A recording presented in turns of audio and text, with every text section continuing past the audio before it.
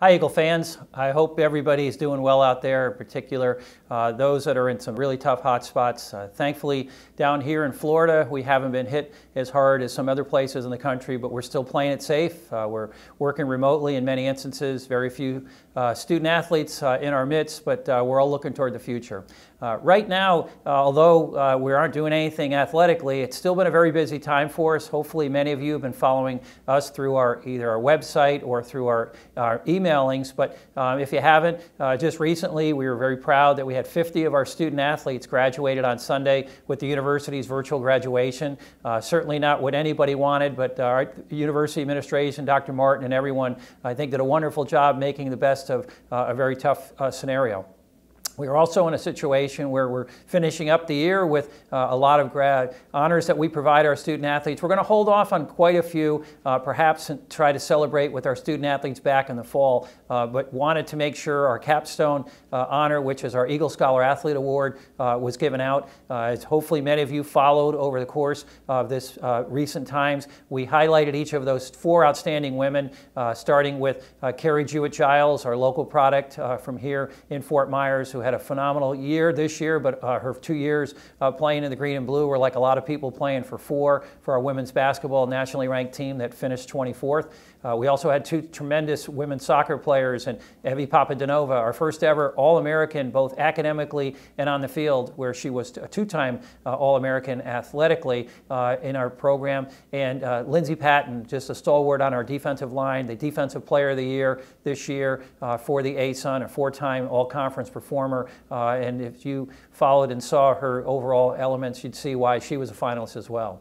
And then our final individual in our this year, our 2020 recipient, uh, Amanda Carroll, uh, a young woman who personifies everything you need in a student athlete from leadership, uh, being the president of our Eagles Council for two years, the president of the ASUN, uh, SAC her last year before she joined the NCAA as a representative for the ASUN student athletes and did a wonderful job. Uh, not to mention what she does as a student. She graduated uh, in her fourth year. Last year, had a redshirt year, came back and wound up uh, working on her master's this year, which we look forward to her finishing in the near future. And then on the court, both in the sand and uh, on the hard floor here in the Alico Arena, just had a phenomenal career, broke the record for kills amongst other successes she had leading her team to the second round of the NCAA tournament last year. So four terrific women uh, in a group that uh, we were very hard picked to pick one, uh, but very proud of all four of them.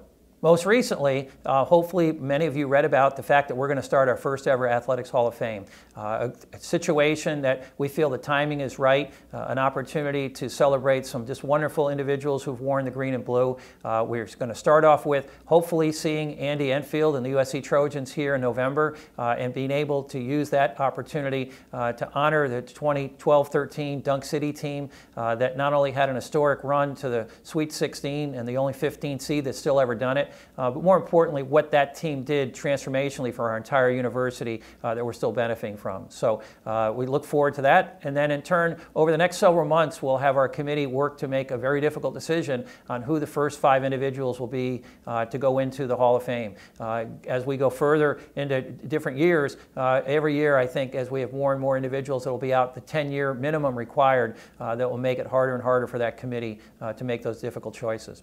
lastly, we're in a position position where we're moving into uh, just trying to figure out what the future holds. Every day seems to be different. Uh, we really don't know ourselves uh, where things are. It's going to start with, for sure, making sure the university is safe uh, for students to come back and then student athletes fitting within that population. So over the course of the next several weeks and months, we'll be trying to just figure out where that puts us into athletics. Uh, we've been working with our peers both at the ASUN and our non-conference opponents to try to determine what types of things are realistic. Uh, the fall sports may be as difficult as it was when we ended the spring. Uh, really hope that we'll see that come to fruition in August and they'll be back here practicing like normal. Um, but we're prepared for the potential of having to cut schedules, maybe not start uh, until after Labor Day or whenever it may be. Maybe we'll just play ASUN schedules and be in a position where we'll work toward getting uh, a champion and get into what we hope will be the NCAA normal tournament process. Um, but still too early for a lot of that. Uh, that that lends itself into